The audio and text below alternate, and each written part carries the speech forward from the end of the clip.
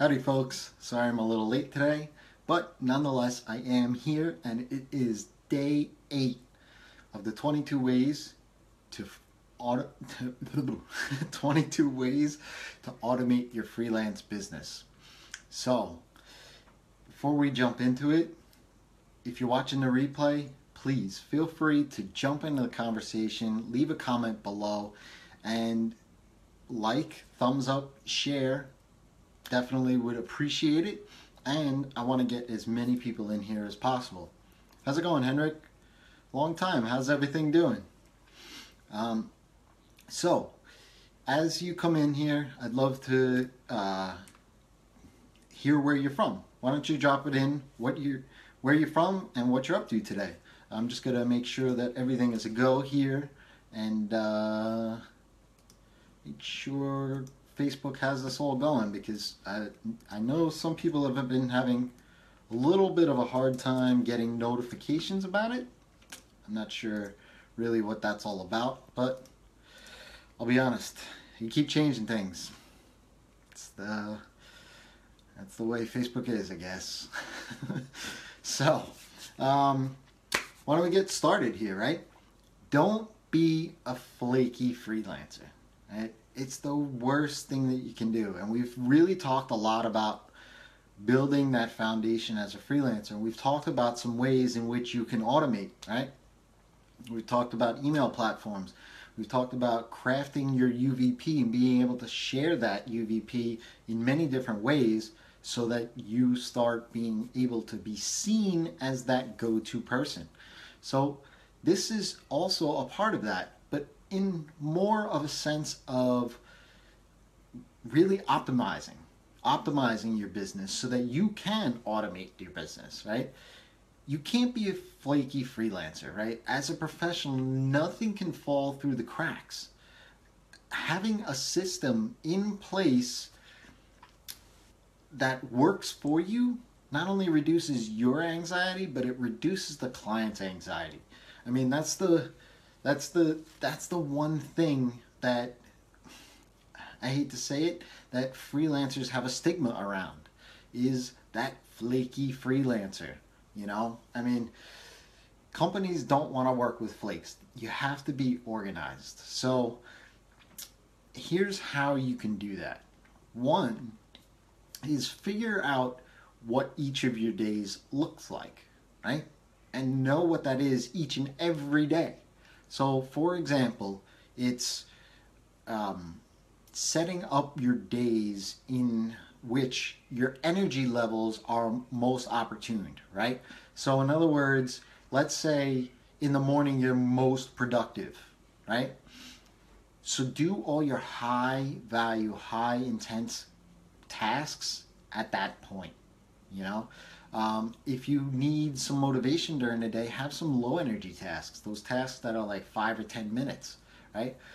Make sure you plan each and every day so that you you can hit the ground running each day with figuring with doing what you need to do, not trying to figure out you need to do and be reactive. All right. So I would love for you guys to leave a comment below if you plan out each day.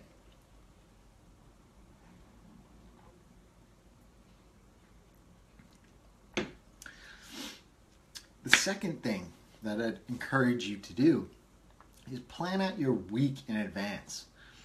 One of the things that I have as a, pretty much a ritual is my weekly review. I do it Sunday mornings. I basically take about an hour um, and plan out my week right? I look at my calendar. I look at my, um, I don't know if you can hear that, but my cat's in the other room howling. Every time I do these Facebook things, 10 minutes out of the day, and that's the time at which he decides that he needs to be vocalized. So, actually, if he does it one more time, I'm going to bring him on the show, and then he might stop forever. Scare him straight, right? Um, weekly review is to set up for me anyway, knowing what Monday might entail, Tuesday might entail. I want to hit the ground running. I don't want to have that sense or that feeling that my week isn't going to be productive. So Monday for me is needs to be set up and planned accordingly. And I do that each and every week, every day of the week, right? Um, I basically review what my past week looked like. I take a look at what this upcoming week looks like, and then I start to chop up my days, right? So I know exactly what I need to do each and every day. Um, so that's the second thing is to have a weekly review, right? The first thing was to know what your energy levels are on that day.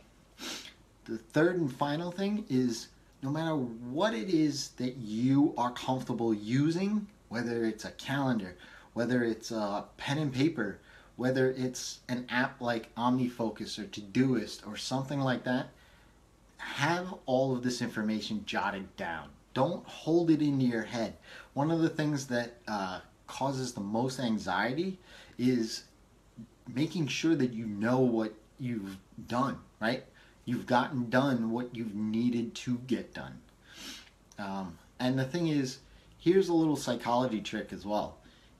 As you work through your tasks and you check off these things, you can then you get that little dopamine hit, right?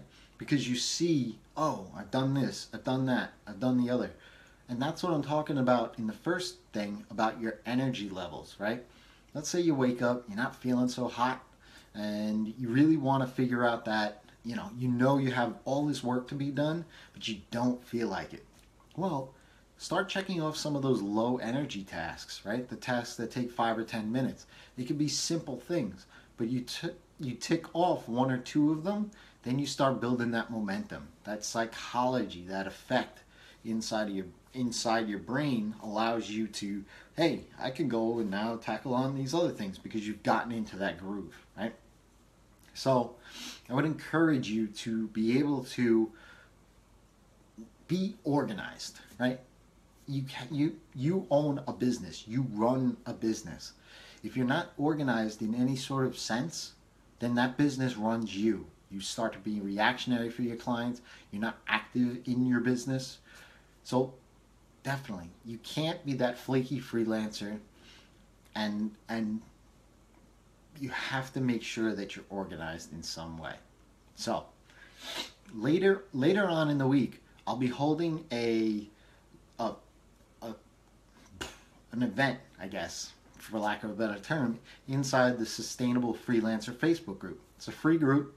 You can go ahead and join up at rezzz.com slash Facebook.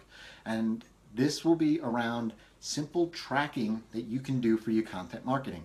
Look, I'm not a con- I'm not a writer, I'm not a marketer, uh, but I know I need to do this stuff. So I've built a system for myself to know what's important and know whether or not it's working. Right? When I put a blog post out there, is somebody listening? Well, this little system allows me to track that, and I'm going to share that with you. So that'll be later on in the week. The only way you can get access to that is inside of the Sustainable Freelancer group. So go ahead and join up if you're not already. And uh, that's all I've got for today. Tomorrow, um, I've got plans. Let me see. We have tomorrow. Right. Tomorrow is a great, great topic. It's about milestone happiness, and we'll share a little. I'll share a little bit more about that tomorrow.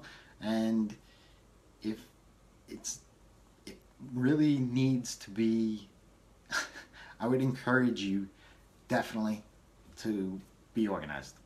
Right? I can't stand, I'll be honest, I, I wasn't really going to get into this little bit of rant, but I'll do this quickly at the end.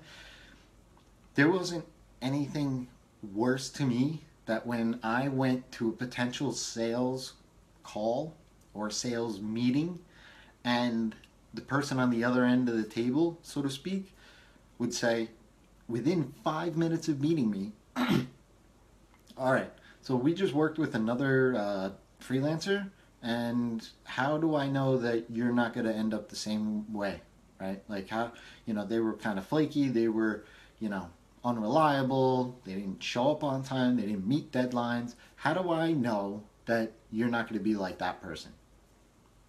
five minutes in, hey, how you doing? I'm Jason, right? So that irked me so much, and that's what being organized will help you distinguish yourself and and stand above everybody else because that's something a lot of freelancers aren't. They are not organized. So definitely go ahead and do so. So till tomorrow, it's your time to feast.